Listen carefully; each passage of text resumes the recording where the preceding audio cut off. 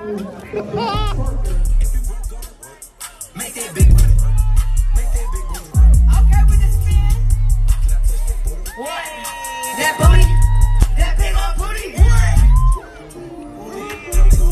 speak up against sexual predators that are out there, um, evil sexual predators that are out there, and um, I want to thank all the women that speak up. I want to thank all the people that come out here and um, speak up on behalf of their mothers and their sisters and their daughters.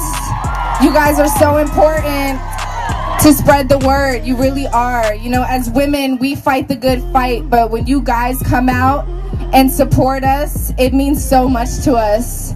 Um, and the respect that you have for women because, you know, um, we made y'all motherfuckers. Well. Tan white toes and them toy flip flops. Manicures and pedicures, I'm always tip top. When they say I'm not hot, all these lies and facades. Cause I'm icy, wifey, haters wanna fight me. Never been the one get argued. Fuck it up if it's your birthday, bitch. Fuck it up if it's your birthday, bitch.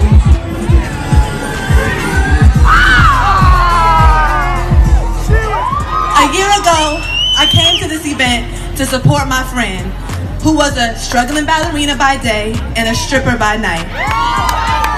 We felt like she finally got her big break to dance background at the Amber Rose Slut Walk. I had one job.